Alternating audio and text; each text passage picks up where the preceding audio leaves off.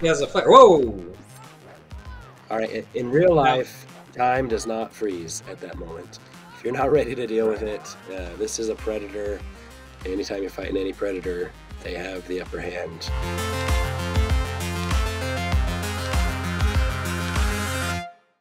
Hello and welcome to Gamology's Experts React. I'm Joe Alton, MD, medical doctor, preparedness advocate, magazine contributor, and co-author of the Survival Medicine Handbook, the essential guide for when help is not on the way. Hi, I'm Nat, the preparedness guy, personal preparedness enthusiast, and professional emergency manager. And we're going to be looking at some survival games today. Let's get into these videos, see what we're going to survive today. Ah! Turbulence! I hate turbulence! Coming in hot! Coming in hot! That's it! Next time, I'm taking the bus. Oh, he's underwater now. You see things floating.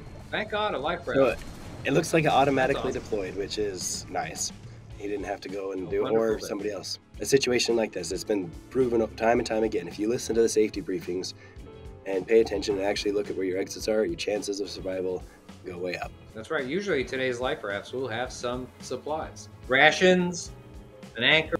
Okay, now you can get to that island. Wilderness survival skills, if you spend any time in the wilderness or might end up in the wilderness, can come in handy. Amen, brother. Nice, that was convenient. Did you see that? You can use that as part of a shelter to collect rainwater, lots of uses. Health, hunger, hydration probably, even sun exposure. Handy to have. You know, you know what? It's it's in a video game now, but I'll bet in future tech we'll see it in real life pretty soon. Probably. Okay, so now you need to improvise some tools to help you survive. I think the yucca can be used for for making um, cordage, but the roots are also edible. I don't know if you've been to any um, any restaurants like a Peruvian restaurant. Some some Hispanic restaurants have yucca fries, and they're fantastic. Probably a good idea as a prepper to have a number of lighters available. Uh, but a lighter is kind of the just the gold standard. You, it works. If it gets wet, you just blow the water out of there, wave it around for a couple minutes, and it's ready to go again. Oh, a okay. crab. How about how about some Krabby Cakes? You That was like a them. crab steak. I think he put it in his bag. Well, not the time to get picky, but you should cook it if you have a way to make fire. So he is trying to, he's cutting down some small trees to build a fire, uh, but there's probably enough deadfall around. You want dry things. You don't want to use a green tree or green branches. All right, so there's our campfire. How is he going to light it? Okay, Oh, one end is used to spin against a very dry, flat piece of wood called a fireboard. And the friction starts a fire, which you nurse along with some kindling. um, yeah, when you're doing the friction, it, it creates just a bunch of little heated uh, like charcoal dust, and it compacts, and you get an ember, and then you move that to your, your tinder. I've never been able to do a, a hand drill fire. A lot of people have. Let's cook that crab steak. It's like a pork Yeah, chop. yum. Okay, all right, so we made a shelter using four palm fronds. Now, I guess we're talking metaphorically here, but you need a lot more to make a shelter. All right, now it's morning, and we made a spear, and we're going to go spear fishing. This might be my downfall in a survival situation like this. I don't like seafood. I wish I did. I've tried every every seafood that's ever been presented to me, and it all tastes like fish sticks. Uh, so I just I, I don't know. I of course I would eat it if I if I had to. Well, beggars can't be choosers. If this is what's there, that's what's for dinner. Exactly. Looks like he's doing everything actively. You want to set up as much passive methods for everything as possible. If you could set up a fish trap or a crab grab cage or something like that to trap food, so you don't have to actively do it all the time.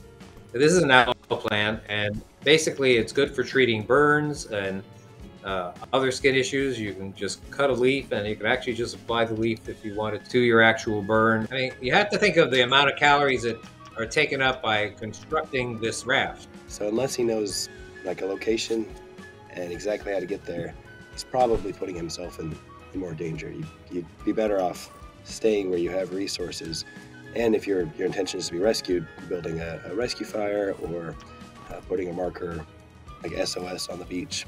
You're, you're right, Nat. He made all these campfires, but he did make a, a fire that would be noticeable from the beach to a passing ship. Now, one way that you can identify where the next land is is if you see seabirds. Seabirds go away from land, go out to sea during the day, and as the evening sets in, they fly back towards land. Okay, this is now green hell. Oh, and we're climbing a mountain. Know and understand your resources. That's right. It's a prepper move to not waste the battery of the walkie-talkie. Notice their canoe that basically is essentially empty. So they've gone to this island and they have essentially no supplies. Mm-hmm. I need to find something in in my backpack. That doesn't sound suspicious at Okay. all. That is a little creepy. Like you you just go up there into the green hell. I, I'll be right there. I don't know. This guy's getting played. She must have a native boo on the side. So you don't want to separate from from each other.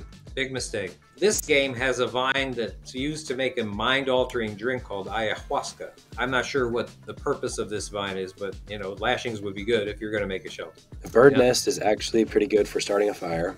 Yep, good kindling. Up oh, and the hand drill again. Easy All peasy. right, So at least in this one, they have an ember. more realistic.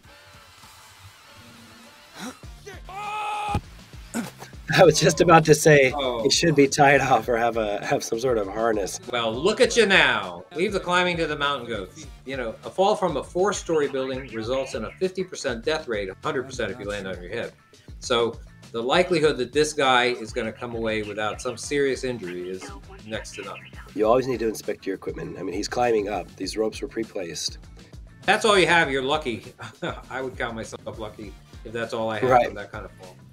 I also wonder how he got that. Maybe it was from from trying to climb up over the ledge when he slipped, and then the rest of him's fine. But I don't see how a, a fall is going to inflict a basically a cut on his arm. Look for Molineria. Molineria capillata, capitulata, is also known to Anglos as palm grass, and it has a long history of medical use in Southeast Asia. It's thought to have antimicrobial and anti-inflammatory properties, might help heal that wound. Looks like he's making a poultice. A poultice is a soft, moist mass of usually plant material that you apply to relieve soreness and inflammation. Shouldn't we be seeing Mia at one point or another here? Where is Mia? That's what I want to know.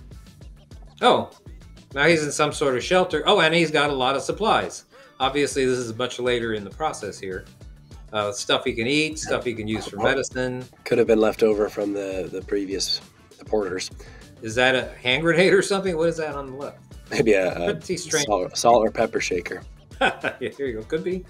So, uh, at what point are you just going to say, "Yeah, I'm going to give these mushrooms a try"?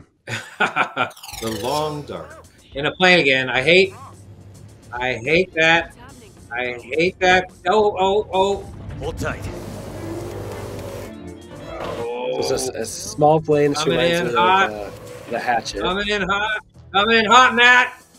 Okay. Oh, that's his plane all the way up there. Uh, oh, Oh, boy. oh, oh. Now, if help was on the way, you wouldn't want to remove that because it's maybe putting pressure on something that might bleed. Yeah, if you have a penetrating injury, it basically acts like a, a stopper, like a cork in the bottle. And if you pull it out, any blood flow that it's pressing against, you're going to have, uh, you have the blood. It's going to start bleeding right away. So you have to be prepared to put pressure on that wound if you plan on taking it out. And out it goes. Probably lost a lot of function in that hand. Again with the climbing. He's got bare hands too. You'd want to have those covered up. Yeah. He's got rose hips. Okay, that's interesting. And it has some uh, medicinal uses. So interesting. Rose hips. Got some rose hips right here. Oh, okay. Civilization. Yeah. How about that? The car looks old enough that it would have a cigarette lighter in there. So if you need to start a That's fire. right. So there must be power in this house. And if there's power, then probably someone's living there. Probably picked up a lot of stuff from there. And it's probably getting heavy. That's one thing a lot of people overlook, especially at the like, oh, I've got a bug out bag and it's you know, it's like 75 pounds and they plan to walk days and days with it. You got to be conscious of, of weight. When you start carrying things, it's gonna wear down your body pretty quickly. All right, growling. And a dead body. And a dead body. What is going on here? Yeah, my priority would Uh-oh. be figuring out what that growling is. If something killed this, it's probably an animal. I have uh, pretended to ice fish when I was a kid. We had a kind of a pond in our front yard. There were fish under there. So I guess And during that is- hour he can't do anything else. Oh, a salmon. So if he's Mm-hmm. shivering, he's already he's already cold, but um, he's Yep. not you know, past the point of no return. It's just his body's way of trying to produce heat. 39 minutes until Yeah. ready. Can't wait. Oh, now we're hunting. And we shot a Looks like a wolf. Yeah, wow.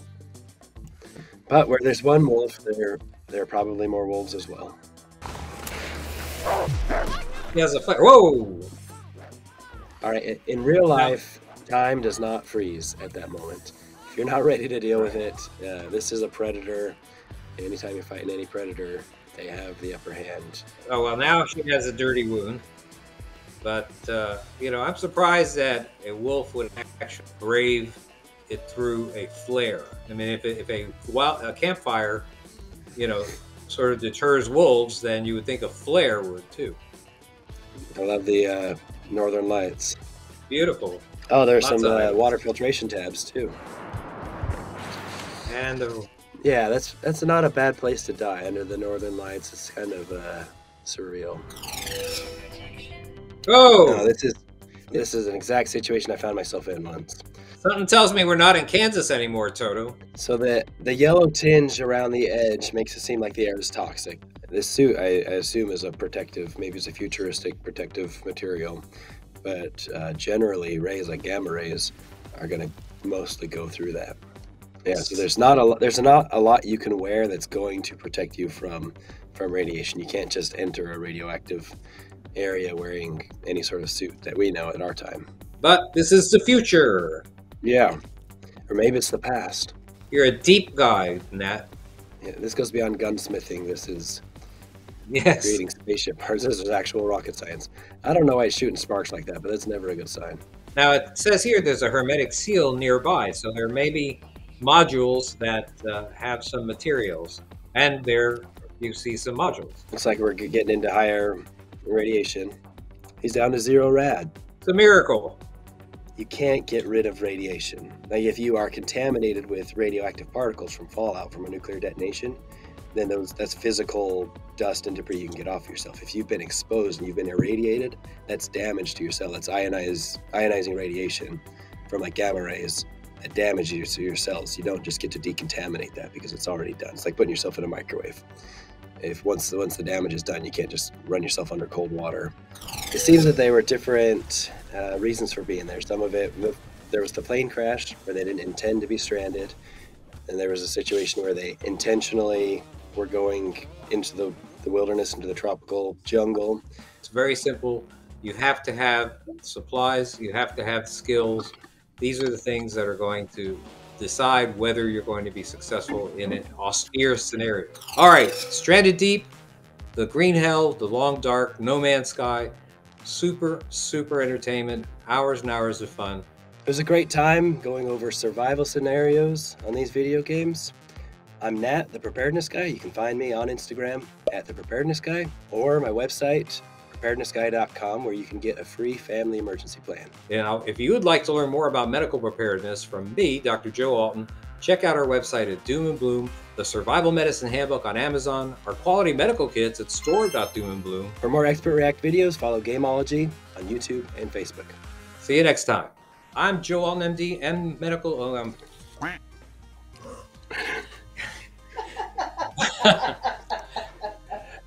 all right. That's all right. That's all right. Take, What- take a deep breath.